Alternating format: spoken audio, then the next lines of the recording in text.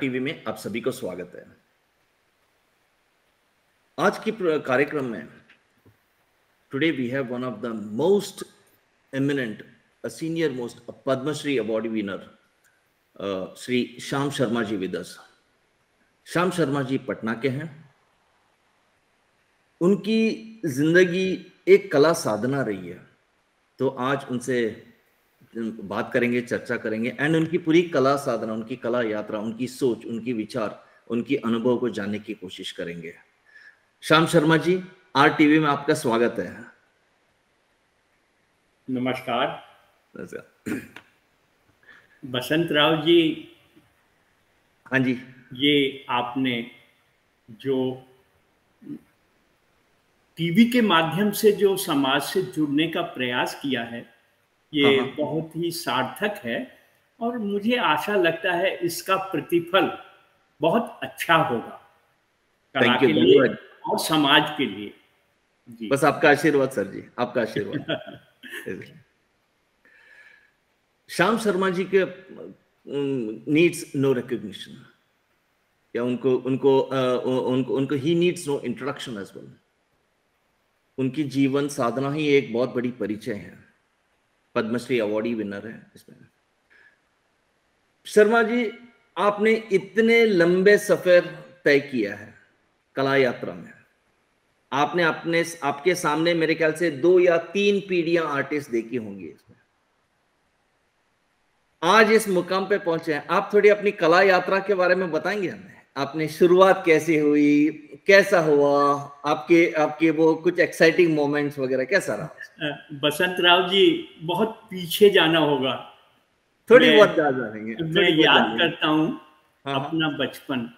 हाँ ये सौभाग्य की बात है कि मेरा जो जन्म हुआ वो उत्तर प्रदेश के मथुरा ज़िले के एक छोटे से कस्बे जिसका गोवर्धन नाम है। क्या बात है हम्म। गोवर्धन एक बहुत ही धार्मिक स्थान है हम्म। वहाँ मेरा बचपन कटा हम्म।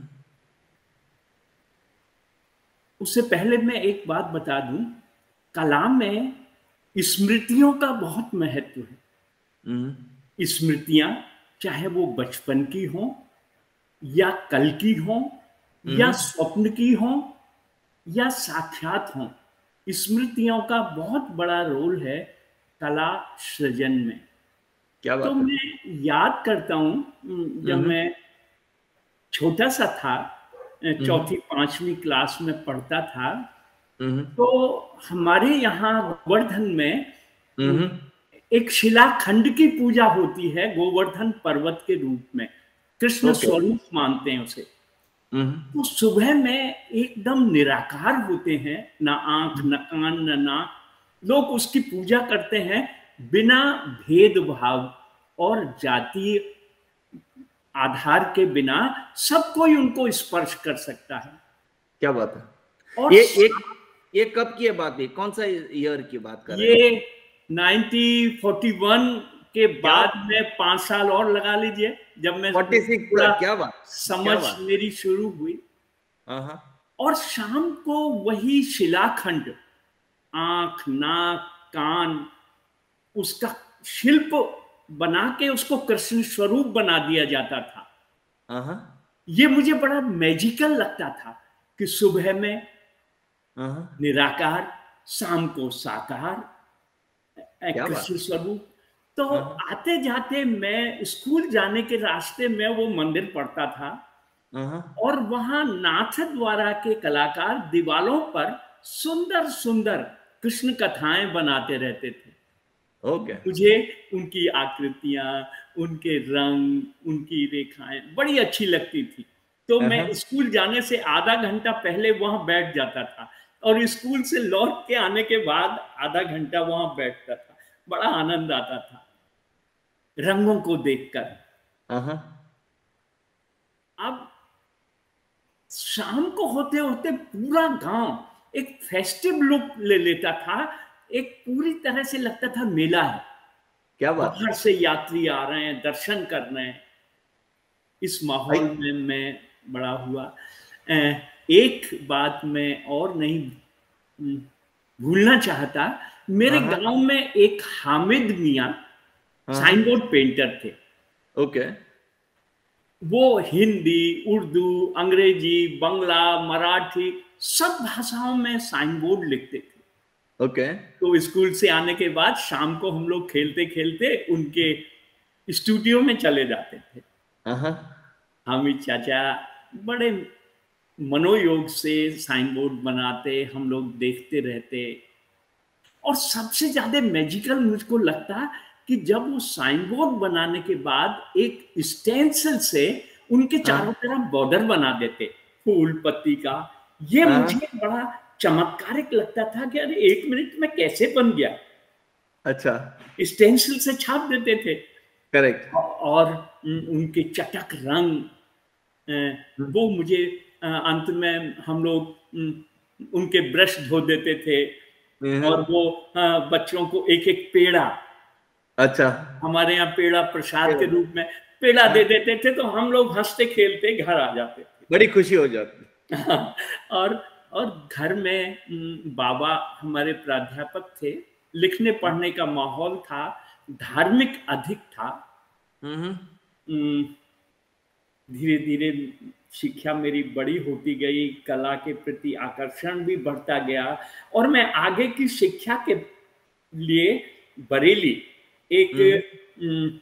उत्तर प्रदेश में बहुत ही एक अच्छा स्थान है। हम्म। वहाँ मेरे पिताजी का प्रिंटिंग प्रेस था। अच्छा। हाँ तो बाबा से माइग्रेट होके मैं पिताजी के पास चला गया। और हम्म। वहाँ मेरा एडमिशन हो गया।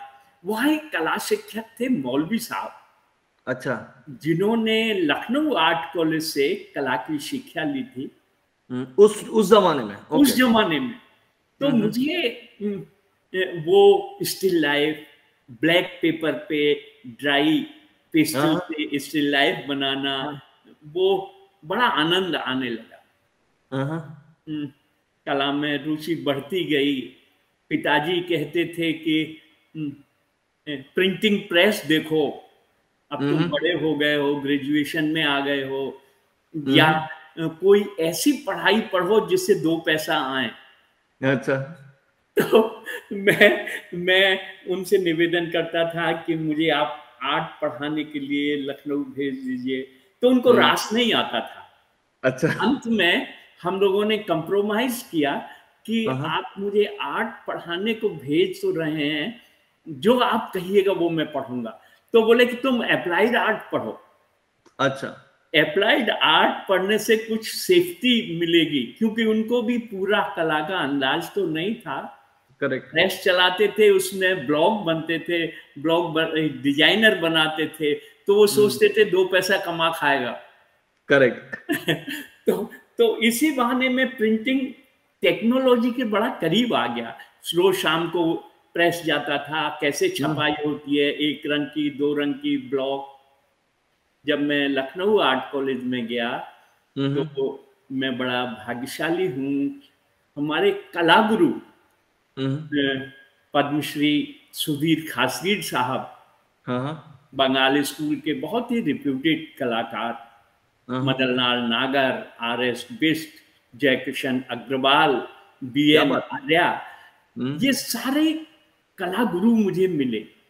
बद्री योगेंद्र नाथ वर्मा योगी ऐसे कर, करके ये कला गुरुओं से मुझे बड़ा स्नेह मिला बड़ा आदर मिला। जय किशन अग्रवाल साहब नए नए शिक्षक हुए थे। प्रिंट मेकिंग डिपार्टमेंट शुरू हुआ था। तो मुझे लगा ये तो टेक्निक मेरी जानी पहचानी सी है। ओके। okay. खाली कला का ही ना आकृतियों का ही तो खेल है। टेक्निक वही है उसी का थोड़ा डेवलप है। एचिंग है लिथो है ये है। तो वो मेरी रुचि प्रिंट मेकिंग की तरफ़ बढ़ गई। मेकिंग की तरफ़ ज़्यादा बढ़ गई और अप्लाइड आर्ट मेरा छूटता चला गया। अच्छा। और क्या बोलूँ बसंत राव जी ये बड़ा सुखद संयोग रहा कि मुझे प्रोफेसर दिनकर कौशिक जो बाद में शांति निकेतन में प्रिंसिपल हो गए हाँ, वो हाँ। मेरे कला गुरु रहे। हाँ, उन्होंने कहा कि तुम पटना आर्ट कॉलेज में नौकरी करोगे? मैंने कहा अरे सर आप मुझे भेज दीजिए। तो हाँ। उन्होंने मेरा नाम रिकमेंड कर दिया इंटरव्यू हुआ। मैं यहाँ पास होने के छह महीने बाद ही शिक्षक के रूप में कला महाविद्यालय में आ गया। अच्छा एवं ये कौन कौन से साल में था सर जी? ये 66 में हाँ। 1966 में मैं पटना आ गया। कला शिक्षक होके यहाँ प्रिंट मेकिंग डिपार्टमेंट नहीं था ओके okay. मशीनें थी पर हाँ? स्टेप बेल स्टेब्लिश नहीं था okay. उन मशीनों को अरेंज करके छापने लायक बनाया लिथोग्राफी शुरू कराई हाँ। कॉलेज में नया मीडियम होने के कारण स्टूडेंट ने बहुत इंटरेस्ट पैदा हो गया अच्छा अच्छा हाँ और ये मैं क्या बोलूँ आज मैं अपने विद्यार्थियों का नाम गिनाऊँगा तो शायद वो मुझसे बहुत आगे हैं। क्या बात और एक शिक्षक का यही अचीवमेंट है कि उसके विद्यार्थी उससे आगे चले। उससे आगे निकले। द्रोणाचार्य ने भी वही कहा आज भारत और एशिया के जो शीर्ष कलाकार हैं वो हम्म। हमारे कला महाविद्यालय पटना से पास करके आज दिल्ली मुंबई महानगरों में हैं और हम्म। बड़ा स्नेह आदर करते हैं तो मैं वो भी प्रिंट मेकिंग करते थे जब वो लौट के आते थे तो मैं उनसे कहता था कि प्रिंट मेकिंग का क्या हुआ बोले सर स्टूडियो नहीं मिलता है बड़ी हम्म। परेशानी है नौकरी लग गई है वहाँ आजीविका के लिए चले गए वहाँ तब मेरे मन में एक प्रश्न पैदा हुआ हम्म। कि आफ्टरऑल एक दिन तो ये स्टूडियो आर्ट कॉलेज का मुझे भी छोड़ना पड़ेगा। अच्छा। मेरी आर्थिक स्थिति क्या होगी मुझे नहीं मालूम। मैं हाँ, हाँ। अपना स्टूडियो सेटअप करूँगा नहीं करूँगा।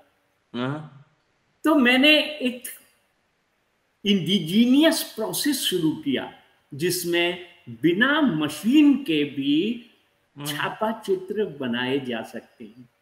Okay okay. मैं नियमित शांति निकेतन जाता रहा मास्टर मुशायर नंदलाल बोस के बेटे विश्वरूप बोस उनसे हम्म। मिलता था होड़ साहब पहुँच गए उन सोमनाथ होड़ साहब पहुँच गए उनसे मिलता था अपना काम दिखाता था हम्म। तो वो कहते थे करो बहुत अच्छा है करो उत्साहित करते थे अच्छा। और मैं पटना आके फिर काम करने लगता था जैसे ही छुट्टी मिलती भारत भवन चला जाता हम्म। स्वामीनाथन जी वहाँ वो थे हम्म। भारत भवन के सर्वे सर्वा यूसुफ मियाँ मतलब भोपाल और पटना मेरे लिए बहुत आनंददायी रहा वहाँ से मैंने वहाँ जाके काम करता था लोगों से मिलता था कलाकारों से मिलता था धीरे हम्म। धीरे मेरी कला की दृष्टि और बदलने लगी ओके और मैंने इंडिजीनियस प्रिंट मेकिंग प्रोसेस को अपनाया ओके okay.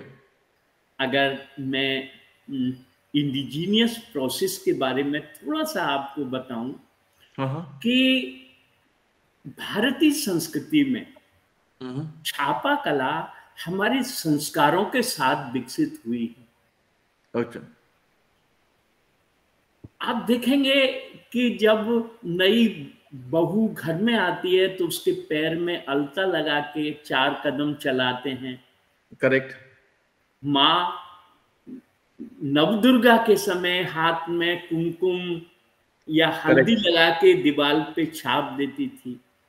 या ऐसे करके और हमारे आदिवासी क्षेत्रों में तो छापा हाँ। कला का दूसरा ही रूप देखा मैंने हम्म। जब नई फ़सल पैदा होती है तो वो चावल का आटा बना के मुट्ठी में लेके हल्दी में डोबो देते हैं सही बात और वो खोलते हैं तो उस पर हाथ का छापा बन जाता है और उसकी हाँ। वो पूजा करते हैं मेरे हाँ। कहने का अर्थ ये है कि भारतीय परंपरा में छापा कला हमारे संस्कारों के साथ शुरू हुई। ओके। और अगर इतिहास पर हम दृष्टि डालें हाँ, तो नालंदा में कुछ संदर्भ मिलते हैं हाँ, हाँ। कि छापा कला की शिक्षा नालंदा विश्वविद्यालय में भी होती थी। अच्छा। हाँ देखिए ये संदर्भ मिलता है जब बख्तियार खिलजी ने हमारे नालंदा विश्वविद्यालय को जलाया। तो हाँ, हाँ। यहाँ के आचार्य विद्वान लोग पलायन कर गए। हाँ जब पलायन कर गए तो वो उन्हीं देशों में गए जहाँ के विद्यार्थी यहाँ पढ़ने आते थे। चीन अच्छा। Japan Indonesia Lanka Laos Mauritius Mauritius नहीं ये श्रीलंका नेपाल यहाँ वो माइग्रेट कर गए।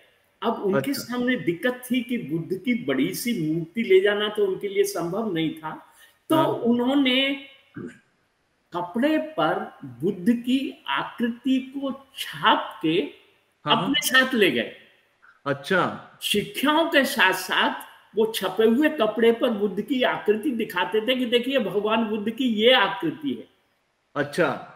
और जब चीन के तुर्फान क्षेत्र में जब यहाँ के आचार्य लोग पहुँचे तो देखा कि वहाँ के कलाकारों ने जो यहाँ से शिक्षा लेके गए थे उन्होंने नए रूप में छापा कला प्रोसेस को शुरू किया और इंडिजीनियस प्रोसेस से जिसमें कोई मशीन का वो था that is rubbing process okay.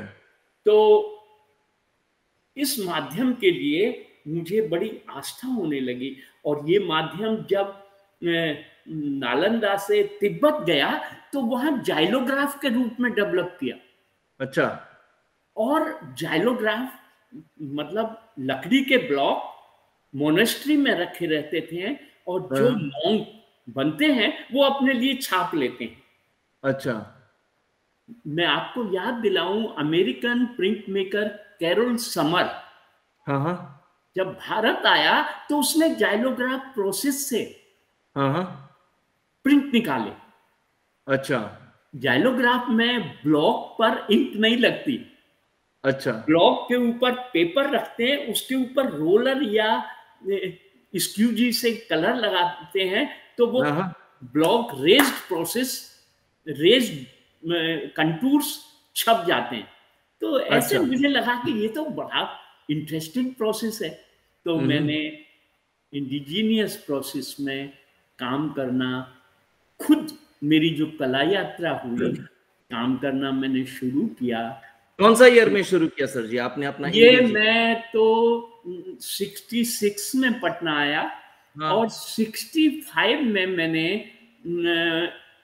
Lucknow में अपना वन मैन शो किया प्रिंट का जिसका कैटलॉग हम्म। प्रोफेसर दिनकर कौशिक ने लिखा ये मेरे लिए बड़े सौभाग्य की बात है 65 में 65 हाँ, 65 में उन दिनों हम्म। में विद्यार्थी था हम्म।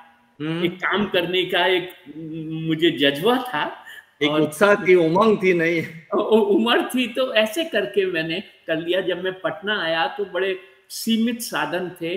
विद्यार्थियों को सारी तकनीक सिखाता था पर मैं उन तकनीकों के मैं ही काम करता था शुरू में। बाद में हम्म। मैंने उठकट शुरू किया। मैंने सेकंड ट्रिनाल इंडिया देखा। अच्छा। ललित कला एकेडमी का। वहाँ हम्म। मैंने जापानीज उठकट देखे बड़े बड़े हम्म। और मैं क्या बोलूँ तब मेरी एक धारणा हुई कि कला में माध्यम कोई अर्थ नहीं रखता अर्थ रखता है आप क्या बना रहे हैं हम्म। उस तकनीक को आप कैसे इस्तेमाल कर रहे हैं तो जापानीज छापा चित्रों से मैं बहुत प्रभावित हुआ मैं तो अचंभित रह गया कि फ्लैट लकड़ी से डायमेंशन कैसे छापा। और जब मैं पटना आया तो मैंने भी प्रयास करना शुरू किया। अंत में लगभग डेढ़ साल के बाद वो इफ़ेक्ट में प्रिंट में ले आया कि फ्लैट लकड़ी से डायमेंशन कैसे क्रिएट हो। उस प्रिंट पर मुझे नेशनल अवार्ड भी मिला। नीदरलैंड से इंटरनेशनल अवार्ड भी मिला तो मेरा उत्साह बढ़ा। और करते करते नियमित लकड़ी को मैंने तरह तरह से अपने प्रिंट में इस्तेमाल किया।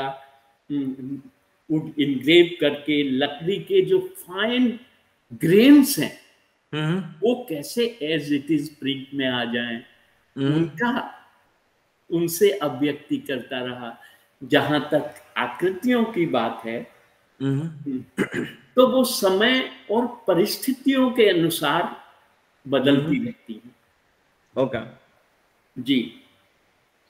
तो आप ये आप प्रिंट मेकिंग से शुरू हुए मतलब आपके पिताजी के प्रिंटिंग प्रेस से जहाँ पे आपकी पहली आई मीन उससे भी पहले अगर देखा जाए तो आपके बचपन में गाँव में वो कृष्ण का जो गोवर्धन पहाड़ जो बनाते वहाँ से शुरू होके दीवारों के ऊपर चित्र देके आपके साइन बोर्ड पेंटर वहाँ से शुरू होके वहाँ से आपके पिताजी के प्रिंटिंग प्रेस से वहाँ से जब इतने सारे आपके बचपन के फाउंडेशन को लेके जब आप आर्ट कॉलेज पहुँचे एंड प्रिंट मेकिंग की तरफ़ प्रभावित हुए इतने सारे अनुभव।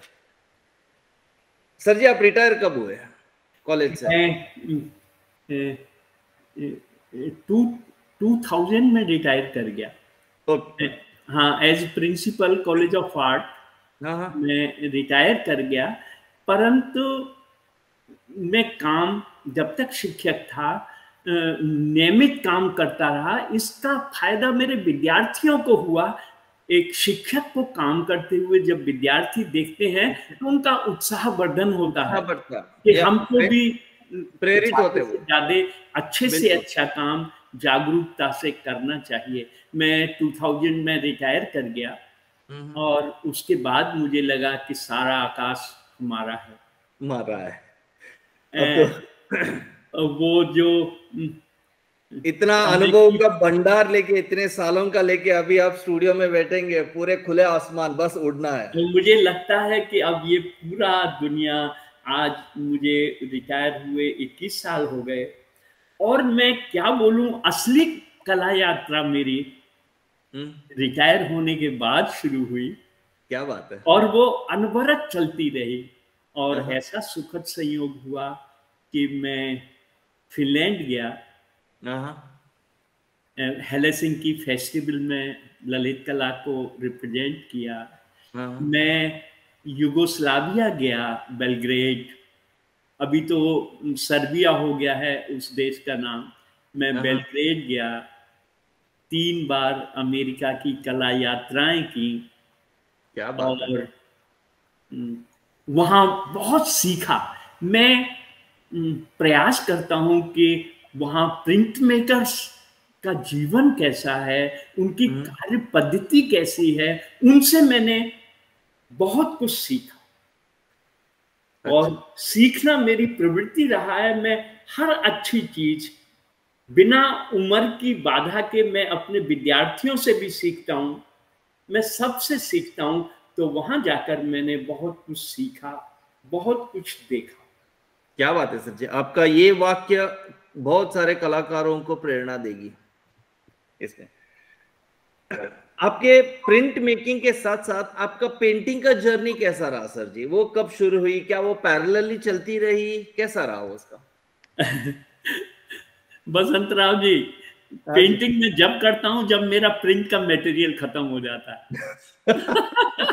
क्योंकि मैं छोटी जगह पे हूँ पेपर हाँ। खत्म हो गया हाँ। मुझसे बैठा नहीं रहा जाता मैं हाँ। उस टाइम में जो पुराने कैनवस हैं उनको। पेंट करके नया कर देता हूँ और उस टाइम में मैं ब्लॉग बना लेता हूँ मैंने अच्छा। मैं याद करता हूँ प्रिंट। मेकिंग को हम्म।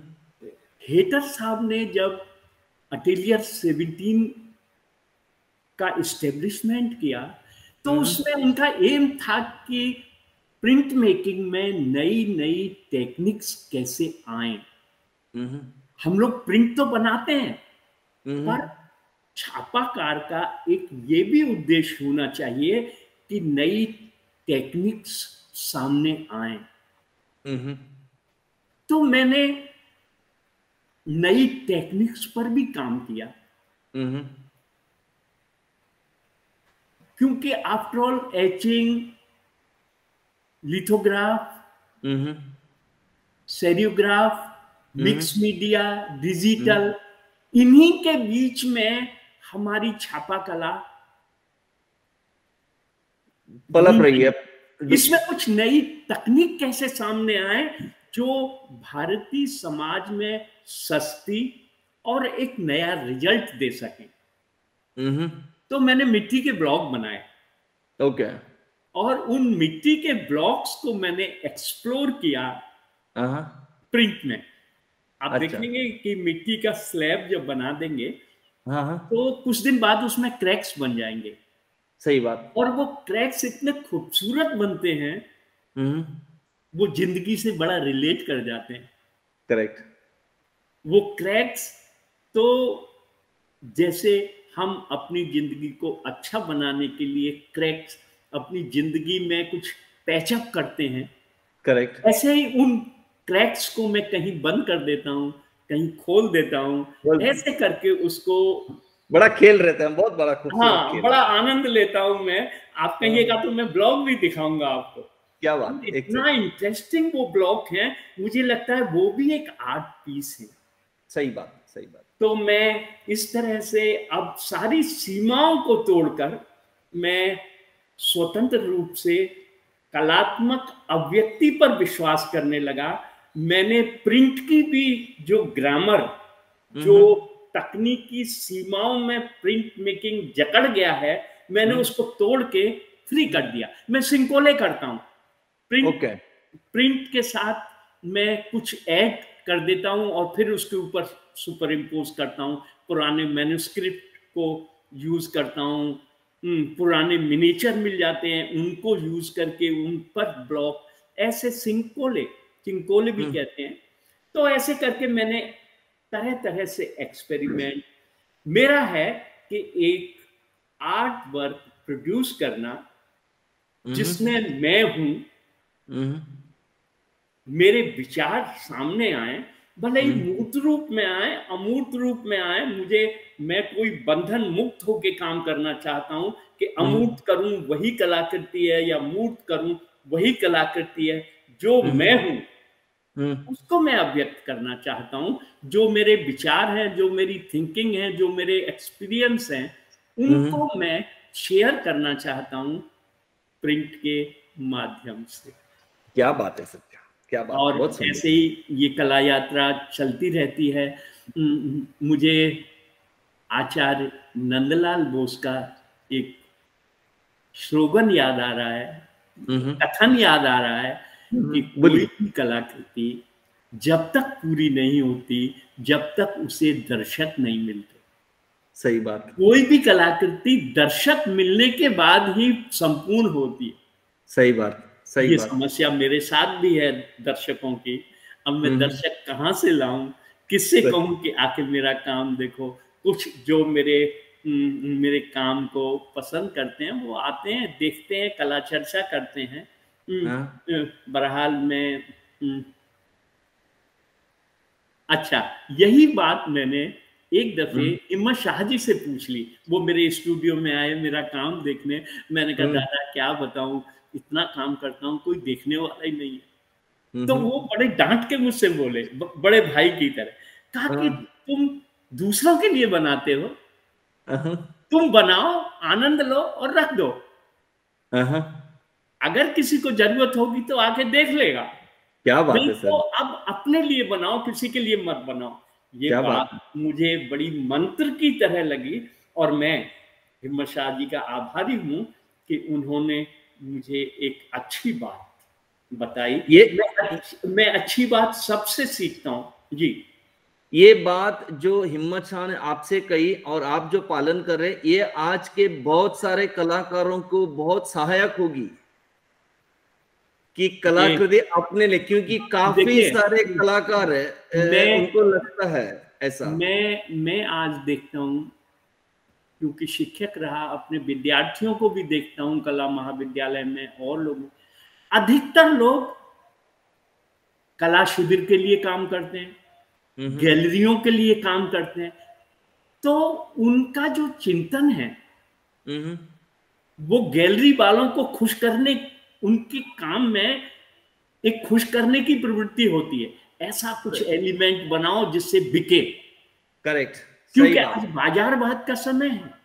कलाकृतियों शुद्ध कलाकृतियों को खरीदने या अप्रिशिएट करने वाले बहुत कम हैं।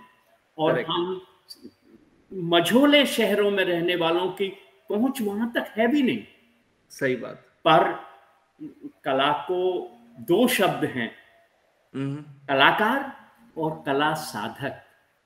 हम्म, सही तानसेन तानसेन महान कलाकार हो सकते हैं पर उनके गुरु हरिदास जी वो कला साधक थे। क्या बात है क्या बात है।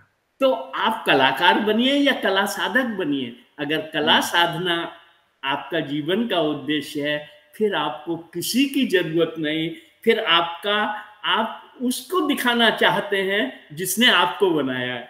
क्या बात है सर जी बहुत बड़ी बात बहुत बड़ी बात। और बहुत आप, आपने काफ़ी सारे कलाकारों को कलाकारा के मन में जो सवाल थे वो जवाब दे दिया आपने।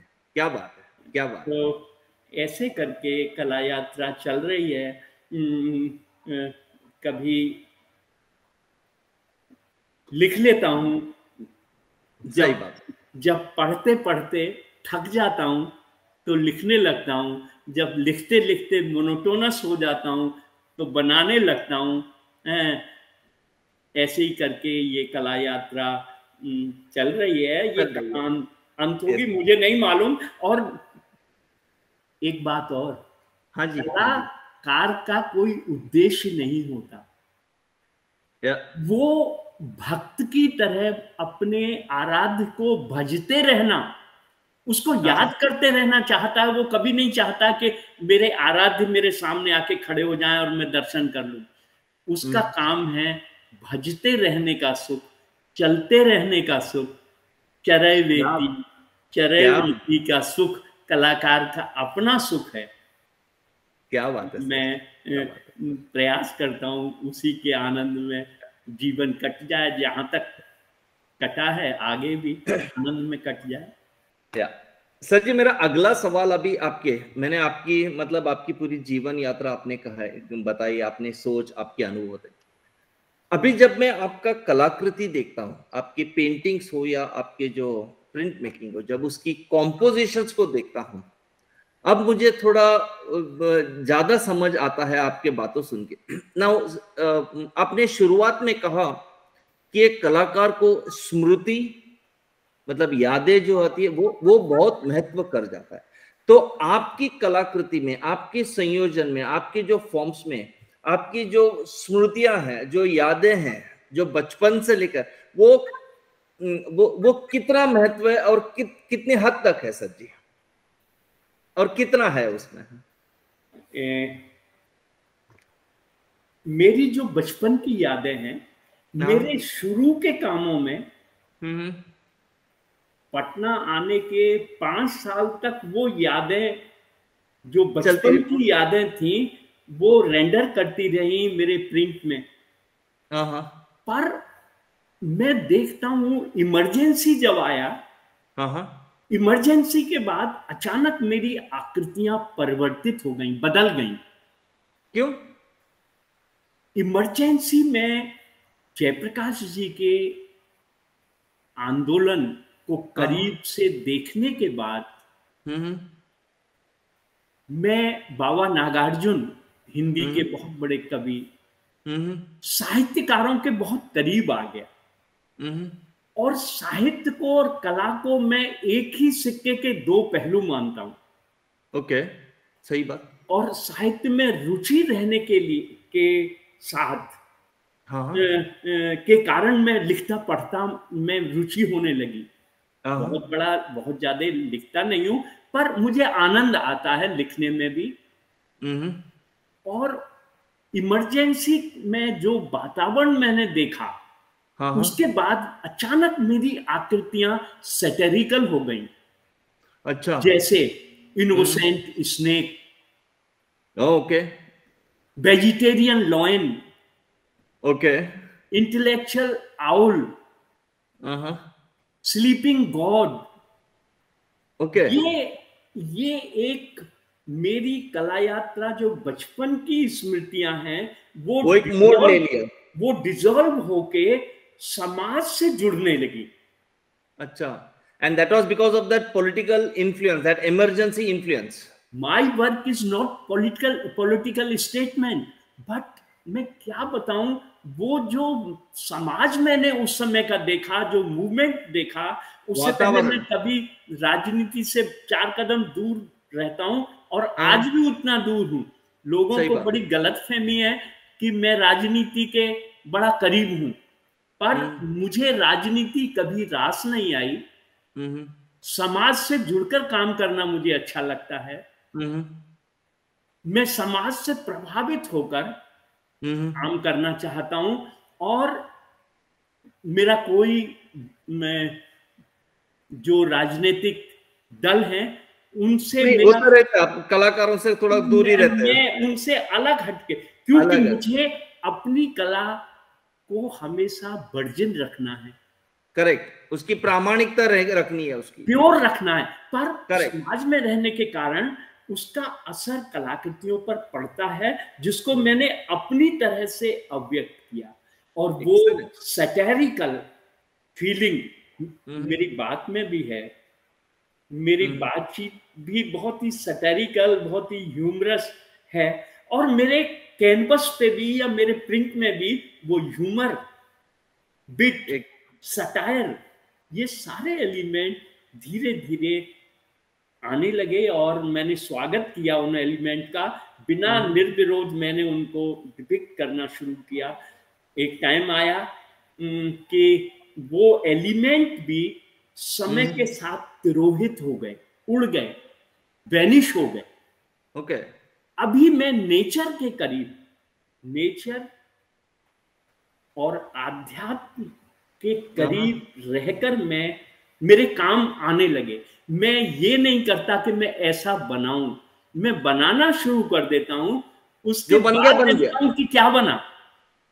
सही बात। मैं सोच के नहीं बनाता हूँ मैं बनाने के बाद सोचता हूँ ये क्या। मेरी मनस्थिति इसमें कहा दिखाई दे रही है? तो मित्रों ये घर आध्यात्मिक जो बचपन का जो एलिमेंट है मैं धर्म नहीं कह रहा हूँ मैं आध्यात्म कह रहा हूँ जो धर्म का और विस्तृत रूप है। मैं वो वो एलिमेंट हाँ। वो मेरे आने लगे। नेचर के एलिमेंट तरह तरह से आने लगे। क्योंकि नेचर भी भगवान का या सृष्टि का एक रूप है और बड़ा शाश्वत रूप है पंच तत्व जो हैं तो मैं हाँ। प्रकृति के अब मैं प्रकृति तो बनाता हूँ हाँ। पर प्रकृति का वो इमेजिनेटिव फॉर्म एक बीज एक सीड हाँ। जो ज़मीन में गिरा पाँच सौ हमने बीज बोए। ऊपर चालीस आए बाकी कहाँ गए? और उनको कैसे स्ट्रगल फॉर एग्जिस्टेंस करना पड़ा होगा? और ऊपर आके किसी में लाल फूल खिल गया किसी में पीला फूल खिल गया तो ये ज़मीन के अंदर वो कलर क्या कलर का खजाना है क्या?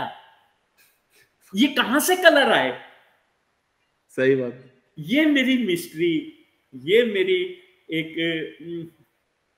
कि जो पृथ्वी है हाँ। ये रत्न गर्भा भी इसका नाम है पर हम्म। इसके अंदर रंगों का क्या खजाना है कि हम कलाकार आज भी प्रकृति के रंगों से इंस्पायर होकर प्रेरणा लेते हैं सही बात सही बात तो मैं प्रकृति के करीब जुड़ गया उसको अपना एक अंग बना लिया और उसी से बात करता हूँ उसी को पेंट करता हूँ और वो जो हिडन मूवमेंट्स हैं जो विजुअल नेकेड आई से दिखाई नहीं देते उनको मैं चाहता हूँ मेरे काम में आए। बहुत सुंदर बहुत सुंदर सर जी। सर जी आपके फॉर्म्स जो होते हैं ना आपके पेंटिंग में फॉर्म्स फॉर एग्जांपल वो फिगरेटिव फॉर्म्स हो वो नेचर एलिमेंट्स वो लीव्स हो वो आपके फॉर्म्स बड़े क्रिएटिव होते हैं एंड बड़े डायनामिक होते हैं इसमें। तो आप अपने फॉर्म्स के बारे में थोड़ा बताएँगे सर जी कि आप किस तरीके से फॉर्म्स लेंगे एंड इसको एक साधारण सी फॉर्म को आप इतने डायनेमिक्स और इतना क्रिएटिव में उसको प्रेजेंट करते हैं। मैं एक या इसके बारे में थोड़ा टेलिंग यू बस Basant Rao ji I am telling you एक तो मैं महानगरों में नहीं रहा मैं पटना जैसी छोटी जगह में रहा। उसमें भी पटना में भी अपने स्टूडियो में सिमट कर रह गया। शायद इसीलिए मेरी आकृतियाँ में का जो सुख है वो मेरा अपना है। मुझ पे बाहर की आकृतियों का कोई प्रभाव नहीं पड़ा क्योंकि ये प्रभाव पड़ना बड़ा स्वाभाविक है। स्वाभाविक तो ना ही किसी गैलरी वाले से के कनेक्शन में रहा जिसके लिए मैं काम कर रहा हूँ। शायद इसीलिए जो मेरी आकृतियाँ हैं वो बहुत ही मेरी तरह क्रूड हैं या मेरी तरह सॉफ्ट हैं या मेरी तरह ओरिजिनल है प्योर है वो जो है वो है। जो है वो है। ये ये मैं नहीं कह सकता ये आप कह सकते हैं। नहीं मैं इसको कैसी है? पर मैं कोशिश करता हूँ कि मैं टेक्निक में अपनी तरह की टेक्निक इस्तेमाल करूँ प्रिंट में। मैं प्रिंट हम्म। में जो फॉर्म है वो हाँ। मेरे अपने हो जो उनका संयोजन है कंपोजिशन है वो मेरा अपना हो। तो ऐस क्योंकि तो ये फॉर्म पर कॉम्पोजिशन काफ़ी ईमानदार लगते बड़े प्रामाणिकपन इसमें दिखता है। मेरे ख्याल से वो बिकॉज़ वो इतना प्रामाणिक दिखता है इसलिए इतना नेचुरल इतना सिंपल होने के बावजूद भी इतना डायनामिक और इतना क्रिएटिव लगता है। शायद। तो ये जो देखिए ये एक दिन में नहीं होता। सही बात भी अरे ज़िंदगी लग गई उम्र लग गई पूरी लाइफ एक्सपीरियंस ये प्योर फॉर्म के लिए पूरा पूरा चिंत तपस्या। मनन चिंतन के साथ आगे बढ़ना है। सही बिल्कुल तो बिल्कुल। उसमें मुझे नहीं मालूम मेरा चिंतन क्या है पर मैं मेरा चिंतन मेरी आकृतियों में दिखाई दे। या। मैं कोशिश नहीं करता पर वो आ जाती है मैं क्या करूँ? आ, आ जाती है बस बस यही है उसकी इसमें। सर जी दूसरी ऑब्जर्वेशन है कि आपकी पेंटिंग में या आपकी इसमें ब्लैक काला कलर जो है वो बड़ा डोमिनेटिंग होता है उसमें एंड बड़ा इसके क्या है सर जी? वो बड़ा मिस्ट्री क्रिएट करता है वो। अगर आप आध्यात्म की तरफ़ थोड़ा सा मुड़े हाँ, हाँ। तो आध्यात्म में एक शब्द है त्याग। हाँ, हम जब आध्यात्म की तरफ़ बढ़ते हैं तो धीरे धीरे हमारा मोह भंग होने लगता है हम्म। कई दृष्टियों से हमारा मोह भंग होता है और हम्म। हम छोड़ने के हम्म। त्याग जिसको कहते हैं नाम का त्याग यश का त्याग अर्थ का त्याग पारिवारिक रिश्तों का त्याग हाँ, हाँ। जब आध्यात्मिक यात्रा पे निकलते हैं तो इन सबको त्यागना पड़ता है हमको। सही बात। शायद कला की यात्रा भी त्याग की यात्रा है। सही बात। हम धीरे धीरे अपने रंगों से मुक्ति पाना चाहते हैं। हाँ, हाँ। हम कम से कम कलर में जैसे कम से कम सामग्री में हम जीवन यापन करने का अभ्यास करते हैं ऐसे कम से कम कलर में अपने आप को अव्यक्त करने का भी इसीलिए शायद काला रंग मेरे चित्रों में ज़्यादा दिखता है या ज़्यादा दिखता है क्योंकि काले रंग के अंदर सारे रंग समाहित हैं। हम्म। और भाई साहब मेरा नाम भी तो श्याम है। अरे क्या बात है। आप, आप इससे जोड़िए ना जवाब वहीं पे है सर जी जवाब वहीं पे है बस तो ये जो श्याम रंग है ये मेरे हाँ। चित्रों में इसलिए मेरे इधर के चित्र इधर के प्रिंट खाली ब्लैक में है और ब्लैक के अंदर मैं अपने मीडियम का मैक्सिमम एक्सप्लोर करता हूँ अपनी फॉर्म में। आप बड़े आनंदित होते हैं उसमें। आनंदित होता हूँ। आप उस कलर के साथ बहुत खेलते शायद बड़ा आनंद मैं बताऊँ एक अच्छा प्रिंट जिस दिन निकल जाता है तो हाँ। शायद मैं अपने आप को राजा से बड़ा महसूस नहीं करता।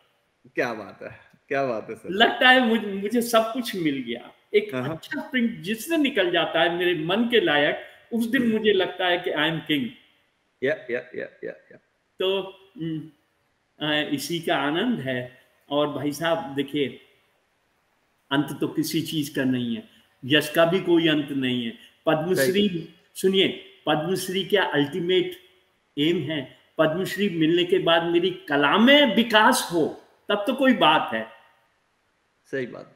ये मान सम्मान ये समाज देती है। ये समाज के लिए तक है पर एक कलाकार के लिए एक कला साधक के लिए इनका बहुत ज़्यादा महत्व होना नहीं चाहिए। सही बात सर। नहीं तो उन उसकी कला यात्रा बाधित हो जाएगी। जिसको जीवन भर संजो के मैं यहाँ तक लाया अब उसको कैसे मैं बहुत अनुभव की बात बहुत बड़ी बात है मैं कैसे बर्बाद कर दूँ? क्योंकि बहुत बड़ी बात है बहुत अनुभव की बात है। ये तो आज हूँ श्याम शर्मा। हम्म। कल नहीं रहेगा श्याम शर्मा। पर जो कलाकृतियाँ हैं वो अमर रहेंगे। वो अमर तो क्या कौन क्या रहेगा मुझे नहीं मालूम है। पर मुझे एक संतोष होगा कि मैंने अपना जीवन बहुत ही कला को समर्पित होके शुद्ध रूप से जिया।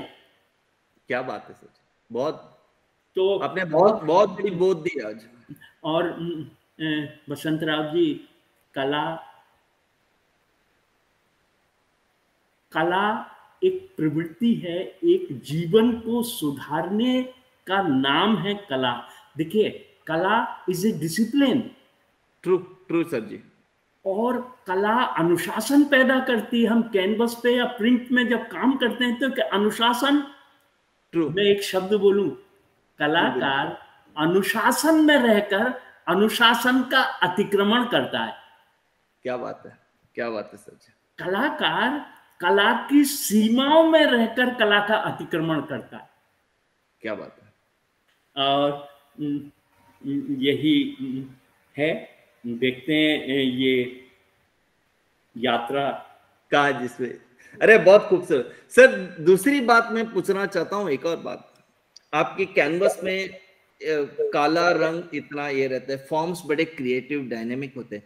लेकिन आपकी जो लाइंस है ना उसमें वो ऐसा लगता है कि वो कैनवस या इस पे नृत्य कर रही है। They are very dancing lines लेकिन आपकी आपकी रंग की फॉर्म अगर आपकी रंग की पैच देखे वो बहुत बड़ा एक आ, बड़ा पैच लेता है। फॉर्म्स बड़े क्रिएटिव और डायनेमिक होते हैं लेकिन लाइंस बड़े खेलते हैं नाचते हैं। तो ये आ, आपका टोटली कॉम्पोजिशन जब देखता हूँ आपके फॉर्म्स कुछ अलग रंगों की अलग डायनेमिक्स लाइंस की नृत्य अलग ये कैसा करते हैं जी आप? आ, इसके बारे में क्या बताएँ? जब मैं लखनऊ में था तो मेरे कला गुरु से मैंने एक वाक्य सुना था। Women like colours okay laymen like light and shade okay artist appreciate form but he is the only master who appreciate the line क्या बात? तो रेखा का महत्व मेरे दिमाग में है। और रेखा बनती है बिंदुओं से dot correct dot dot dot हमारे यहाँ जो निराकार की धारणा है उसको साकार करने के लिए कलाकार ने एक प्रतीक चुना दैट इज़ डॉट बिंदु बिंदुओं को जब साथ साथ रखते हैं तो रेखा बन जाती है। सही बात। और रेखाओं से आकृतियाँ बनती हैं। सही बात। तो ये निराकार से साकार की यात्रा है। सही बात। और उसमें रेखा का बहुत बड़ा महत्व है। हम क्या करें? हम देखें। हम्म। अगर रेखाओं के बारे में सोचें सोचें हम्म। तो आदि मानव ने पहाड़ों पर वृक्षों पर शाम को के प्रकाश में जो रेखाएँ देखी मॉर्निंग लाइट में प्रकृति में रेखाएँ जो बनती हैं हाँ, हाँ। उनसे प्रभावित होकर उन्होंने रेखाओं का की शुरुआत की आदि मानव हम्म। हम्म। जब शब्द भी नहीं थे। सही बात। भाषा भी नहीं थी। तो चित्रों हम्म। से चित्रलिपि चित्रों से ही डेवलप की। करेक्ट जो बाद में पूरी भाषा का रूप बनी। करेक्ट वो शुरुआत हुई रेखा से। हमारी जो कला तीर्थ हैं अजंता एलोरा हाँ। एलिफेंटा खुजराहो अगर हाँ। खुजराहो की मूर्तियाँ तो थ्री डायमेंशनल है। अगर हाँ। सुबह में आप उनको देखें तो रेखाएँ दिखाई देंगी। हम्म, नंदलाल बोस ने बांकुरा के टेराकोटा टेम्पल्स पर जो रेखाएँ बनती थी उनसे प्रभावित होकर उन्होंने रेखा रेखाओं को अपने चित्रों का आधार बनाया। हम्म, विनोद बिहारी मुखर्जी हम्म, इवन यामिनी राय के पटचित्रों को अगर हम देखें तो रेखा प्रधान है। कालीघाट के पटचित्रों से उन्होंने रेखाओं ली। सही बात। तो कला में रेखाओं का उतना ही महत्व है हम्म, जितना और एलिमेंट का। इसलिए ये जो रेखा है ये मेरे चित्रों में मेरी तरह से हम्म, आप देखेंगे मेरी रेखाएँ बहुत क्रूड नहीं है। बहुत नहीं ही। सॉफ्टली मूव कर, करती हैं बड़े मनमोजी है बड़े मनमोजी है बड़े हाँ। है है एकदम खेल कूद में। मैं मैं बंध के रेखाएँ नहीं चलती हैं मेरी रेखाएँ उन्मुक्त होके। सही बात। जैसे कला में उन्मुक्तता का आनंद है हम्म, बहती हुई नदी उन्मुक्त होकर बहती है सही बात। उसका जो आनंद है वही कला में रेखाओं का आनंद है। अगर नदी को को दोनों किनारों के बीच में बाँध दिया जाए तो हाँ। शायद नदी की शोभा खत्म हो जाएगी। सही बात बिल्कुल बिल्कुल। सर जी आपने आपकी पूरी जीवन के अनुभव ने आपने बताया कि आपने काफ़ी कलाकारों को देखा है आपने काफ़ी कला साधकों को देखा है। आज की इस कंटेम्प्ररी सिनेरियो में आपको क्या लगता है आपकी क्या राय आप क्या देखते हैं कि पहले के तुलना में या ये अभी के जनरेशन या अभी की कलाकृति कैसे निकल रही है किस ओर जा रही है सर? आपका क्या राय है बड़ा विकट प्रश्न है और बड़ा कटु इसका यस जवाब है हाँ। कि जब तक कलाकार या कला साधक हाँ। अपने लिए बनाना शुरू नहीं करेगा तब तक कला की यात्रा शुरू ही नहीं होती है उसकी। क्या बात है जी। जब जिस दिन कलाकार चाहे शहरी हो चाहे गाँव का हो जिस दिन वो दूसरों के लिए बनाने लगेगा हम्म, वो कलाकृति नहीं होगी। वो अप्लाइड आर्ट की तरफ़ चला जाएगा। वो एक प्रोडक्ट अच्छी चित्र की तरफ़ चला जाएगा। और जिस दिन कलाकार खुद के लिए बनाने लगेगा उस हाँ। दिन वो कलाकृतियाँ हाँ हाँ। कलाकृतियाँ शुद्ध कला की तरफ़ बढ़ने लगेंगी। हमारे जो ग्रेट मास्टर्स हुए हैं अगर उनके जीवन को देखें तो। उन्होंने बिना आज कला में बाज़ार बात सही बात। प्रवेश कर गया है। हर कलाकार रातों रात पेज थ्री की न्यूज़ बनना चाहता है। सही बात। तो वो पेज थ्री की न्यूज़ का उतना ही वैल्यू है जितना अखबार अगले दिन पुराना हो जाता है उससे ज़्यादा अखबार का सही बात यूज़ सही नहीं बात। है। अगर आपको सही बात। ये hundred metre two hundred metre race नहीं है। या ये मैराथन भी नहीं है ये क्रॉस कंट्री रेस है। ये पूरा जीवन भर का सफ़र है। जीवन भर का सफ़र है और हमारे कलाकार तुरंत उसका लाभ लेना चाहते हैं। ये कैसे संभव है? लाभ मिल भी जाए। या। हो सकता है उनकी कलाकृतियों का मार्केट बन जाए उनको पर वो जो आत्म सुख है या। वो तभी मिलना शुरू होगा जब आप अपने लिए काम करेंगे। सही बात सही बात सर जी। मतलब वो एक प्रोडक्ट ना रहे एक पैशन रहे। पैशन रहे। वो एक वृत्ति ना रहे एक साधना रहे। साध मैं आपको याद दिलाऊं तुलसीदास ने हम्म, रामायण में शुरू की दस चौपाइयों में लिख दिया है कि कलाकृति कैसी होनी चाहिए। क्या बात है सर जी आप थोड़ा बताएँगे? स्वांत सुखाय तुलसी रघुनाथ गाथा भाषा निबंध मंजुल मातनोती कि मैं ये जो रामायण लिख रहा हूँ ये स्वांत सुखाय लिख रहा हूँ। क्या बात है सर और देखिए तुलसी का स्वांत सुखाय। खेत में काम करने वाला चरवाहा भी शाम को चौपाल पर रामायण गा लेता है और फादर कामिल बुल के उसी रामायण पर डिलीट और पीएचडी और डिलीट कर लेते। हैं क्या बात ये है स्वांत का विस्तार। सही बात। स्वांत का विस्तार। अगर आप ईमानदारी से स्वांत रचना करते जाते हैं तो उसका विस्तार अनंत तक जाता है और टाइमलेस आर्ट जिसको कहते हैं वो प्रोड्यूस हो सकती है। सही बात सही बात सर जी बहुत और कलाकृतियों के साथ एक समस्या है।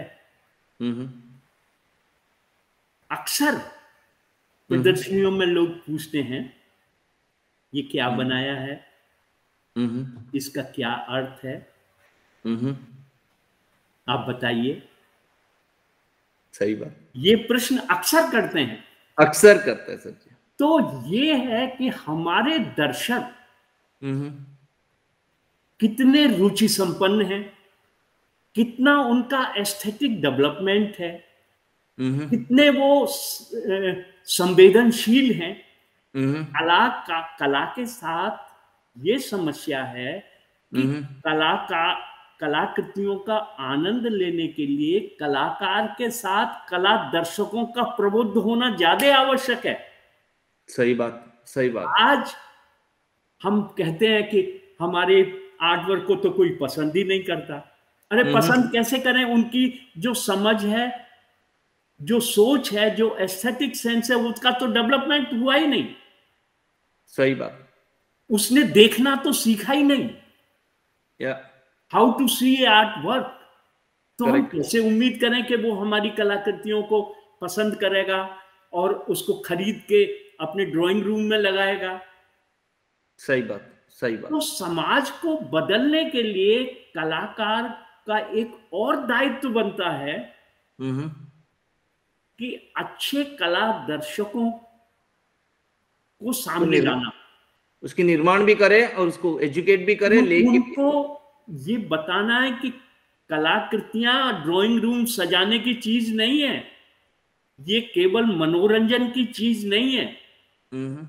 ये इसके पीछे पूरा विज्ञान है सही बात और अगर हमारा दर्शक हम्म। हमारी कलाकृतियों को रिजेक्ट करके चला जाता है तो ये हम्म। उसका प्रॉब्लम है कि उसको समझ में नहीं आता। अगर फ्रेंच मुझ पे नहीं आती हम्म। संस्कृत मुझ पे नहीं आती तो ये मेरा दोष है। सही भाषा भाषा का कोई दोष तो नहीं है। सही बात। ये मुझे देखने की प्रवृत्ति मुझे ज्ञान अर्जन करने की प्रवृत्ति मुझे भाषा सीखने की प्रवृत्ति को डेवलप करना पड़ेगा। सही बात। तब मैं कलाकृतियों का आनंद ले सकता हूँ। जैसे संगीत के साथ है। संगीत का आनंद लेने के लिए पहले कानों को ट्रेंड करना पड़ता है। सही बात बिल्कुल। ऐसे ही तब हम संगीत का आनंद ले सकते हैं पंडित भीमसेन जोशी। लेकिन ऐसा क्यों हुआ सर जी? क्योंकि हमारी देश हमारी संस्कृति जो है वो पूरा आध्यात्मिक और कलात्मक से भरी हुई है। आप चाहे हमारी वेशभूषा देखिए हमारे खान पान देखिए हमारे घर की सजावट हो हमारी भगवान के श्रृंगार हो फूलों की आकार हो आपकी हमारी नृत्य है, नाट्य है, गायन है, कविता है साई मतलब इतना हमारी भारतीय संस्कृति, भारतीय जो ये है, वो इतना कला से भरा पड़ा हुआ है। लेकिन इसके बावजूद भी अगर जब हमारी आज की अगर जब हम समाज को देखते हैं स्पेशली विजुअल आर्ट से तो कोसों दूर है। ये काफ़ी कविता समझ लेंगे गाना समझ लेंगे फ़िल्म नाटक समझ लेंगे लेकिन विजुअल आर्ट को देखा तो उसे कोसों दूर है। जब भी कोई देखते हैं तो पहला आता है कि यार समझ में नहीं आता है। तो ये इतना बड़ा गैप अब हम कैसे मिटाए सर जी? और क्यों है इतना? ये आज 21वीं शताब्दी में जो कल्चरल लैक जिसको कहते हैं या। हम अपनी संस्कृति से जैसे जैसे दूर होते जाएँगे या। वैसे वैसे कला का आनंद लेना कम होता जाएगा। उसके बारे में उसके बारे में गोचर ही कम होगी। क्योंकि हमारे यहाँ जो कला शिक्षा या कला से जोड़ने की परंपरा परिवार से शुरू हो जाती थी वो तो खत्म हो गई। हमारे रिचुअल्स बिना आर्ट के पूरे नहीं होते। नहीं आज इक्कीसवीं शताब्दी में वो सारे संस्कार तो खत्म हो रहे हैं। सिंपल घर में जो रंगोली डाली जाती थी हर घर में वहाँ से शुरू होती थी। वहाँ से शुरू हो दिन की शुरुआत कला से शुरू होती थी। सही बात। आज महानगरों में रंगोली बनाने की परंपरा खत्म हो रही है। सही बात। तो हमारी जो सीखने की पर का जो प्रोसेस था या कला से जुड़ने का जो प्रोसेस था वो प्रोसेस ही बंद हो गया। वो कट गई। और दूसरे हमारी जो शिक्षा पद्धति है उसमें सब कुछ सिखाते हैं पर देखना नहीं सिखाते। क्या बात है? बहुत सही बहुत इवन हमारे जो कला महाविद्यालय हैं जहाँ से कलाकार निकलते हैं कलाकृति बनाना सिखाते हैं पर कलाकृति देखना नहीं सिखाते। या या या। कि एक कलाकृति को का आनंद कैसे लिया जाए? वो दृष्टिकोण ही नहीं है वो परसेप्शन ही नहीं वो नहीं है। इसीलिए ये लैग जो दिखाई दे रही है हाँ। समाज में वो हाँ। इसीलिए है अच्छा आप हम्म। आप ऐसे समाज को देखिए हम्म। देखिए भाई साहब इतिहास साक्षी है हम्म। जिस देश के लोग जिस प्रदेश के लोग कला संस्कृति से जितना ज़्यादा जुड़े रहेंगे उतना ही संभ्रांत और अनुशासित रहेंगे। आज ये जो विघटन का काल चल रहा है इसमें मेन कारण है सांस्कृतिक। हमारी हमारे धर्म में संस्कृति का स्थान खत्म होता जा रहा है। सही बात सही बात। और जिन देशों में देखने की प्रवृत्ति अपने नागरिकों में पैदा कर दी वो देश आज विज्ञान की बड़ी बड़ी खोज उन्हीं देशों में हुई जिन देशों में देखना सिखाया गया। सही बात सही बात। क्योंकि देखने से चिंतन बढ़ता है और चिंतन का रूपायित होना नए आविष्कार की तरफ़ बढ़ाता है। तो हमको देखना ही नहीं सिखाया जाता। सही बात सही बात। हम और ये मुझे कहने में थोड़ा संकोच हो रहा है जिनके पास आर्ट के लिए इन्वेस्ट करने के लिए पैसे हैं इंडस्ट्री घराने के पास उनमें कला की शुद्ध कला की रुचि डेवलप नहीं हुई है। और जिनके पास पैसे नहीं है वो कला को कैसे प्रमोट करेंगे? कला को प्रमोट तो बड़े बड़े बिज़नेस हाउसेस बड़े बड़े इंडस्ट्रियलिस्ट सही बात। अब अगर वो शुद्ध कला को प्रमोट करने लगे तब कला का जो सृजन होगा या। वो नए रूप में होगा। वो अपने घर को सजाने के लिए पेंटिंग खरीदते हैं। वो कलाकृति नहीं खरीदते। वो सजावटी सामान जैसे सोफा है फर्नीचर है उस तरह से पेंटिंग को देखते हैं। इससे ज़्यादा पेंटिंग को नहीं देखते। इसमें एक एक ऑब्जर्वेशन मैंने जो देखी ये इसमें है कि पहले जमाने में आई मीन अगर आप 40 30 40 साल पहले अगर भी तक वहाँ तक भी देखते थे तो बड़े बड़े इंडस्ट्रियलिस्ट गैलरीज या एग्जीबिशन विज़िट करते थे वो कलाकारों से बात करते आजकल का दौर स्पेशली पिछले 25 साल से ऐसा हो गया कि बड़े बड़े इंडस्ट्रियलिस्ट या इन्वेस्टर्स या कलेक्टर्स वो गैलरी को एग्जीबिशंस को विज़िट नहीं करते। जो गैलरी वाले उनको इमेजेस भेजते हैं जो उनको भेजते हैं एंड उनका वो लोग जो कथन सुनाते हैं उसी के ऊपर आधारित होकर बिक्री हो जाती है। मैं मैं, मैं एक मैं एक बहुत ये कहना चाहता हूँ एक बड़े कलेक्टर के घर गया था वहाँ पे। हम्म, हम्म। जो नामी कलेक्टर है नाम नहीं लूँगा। उनको, उनकी जो इंटीरियर डिज़ाइनर और गैलरी वाले जो, इन्होंने ऐसे ऐसे कलाकृतियाँ उनको खरीदवाई है उनसे, जो कॉलेज से निकल के सिर्फ़ दो तीन साल हुए हैं एंड पता नहीं क्या कहानी बुनाई गई उसमें एंड डेढ़ डेढ़ लाख, दो दो लाख में उनकी पेंटिंग लेकिन इस कलाकार को सिर्फ़ बीस, पच्चीस हज़ार रुपए में और ऐसे भी कलाकृति मतलब मैंने उनके घर में देखा, हुसैन का पेंटिंग है रजा का पेंटिंग है एंड उसके बगल में वो विद्यार्थी जो वो आर्टिस्ट जो सिर्फ़ कॉलेज से दो साल निकला हुआ बार उसकी कलाकृति है। मतलब कहीं मुझे ऐसा लगता है कि ये इंटीरियर डिजाइनर्स और ये गैलरी वाले भी जो हैं इसमें इन्होंने कुछ अच्छे कलाकारों को तो डेफिनेटली किया लेकिन ऐसे भी मतलब पैसे कमाने के फाइनेंशियल गेन्स की वजह से है ना ऐसे भी प्रमोट हुए हैं। ये तो, एक मेरी ऑब्जर्वेशन रही है। करेक्ट तो उनका रुचि संपन्नता नहीं पड़ी। सही उनको, उनको जो इंटीरियर डेकोरेटर या आर्किटेक्ट ने बता दिया वही कलाकृति है उनके लिए। सही बात। अच्छा। यही यही कला का सिनेरियो है जिसमें हम लोग कर रहे हैं। आ, अब यही है कि हम क्या करें? सही बात। नहीं जी सर जी वो बस ऐसे ही मतलब मेरे ख्याल से इस तरह की बातों से जब हम अवेयरनेस क्रिएट करेंगे तो धीरे धीरे आ जाएगा। मुझे उम्मीद है। मुझे उम्मीद है। ये हमारे जो इंडस्ट्रियलिस्ट हैं हमारे जो बड़े बिज़नेस घराने हैं।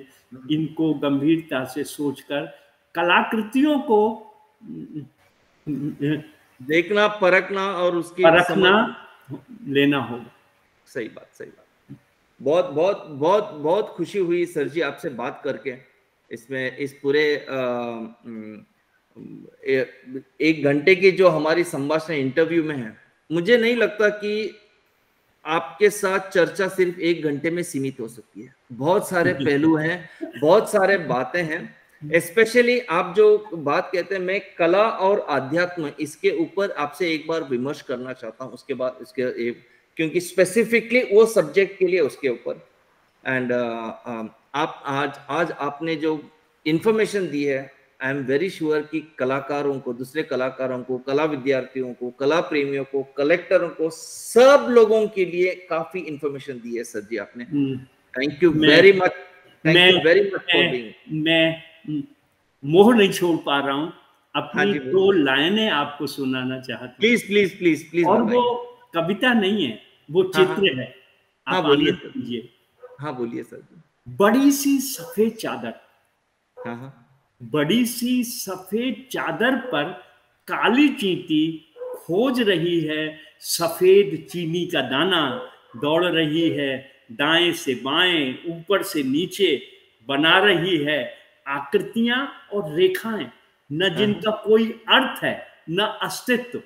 बस सुख ले रही है। सफ़ेद में सफ़ेद को खोजने का। क्या बात है सर जी क्या यही कलाकार का अपना सुख है कि वो जीवन पर्यंत उस सफ़ेद को इस सफ़ेद में खोजने में लगाता रहता है। क्या बात है सर जी बहुत बहुत खूब बहुत खूब। Very beautiful very beautiful very beautiful sir ji. Thank you very much कि आप आए आर टीवी में और आपने अपनी इतने सारे अनुभव और इतने सारे बातें इतने सारे जो आपके ओपिनियन से आपने शेयर किया हमसे।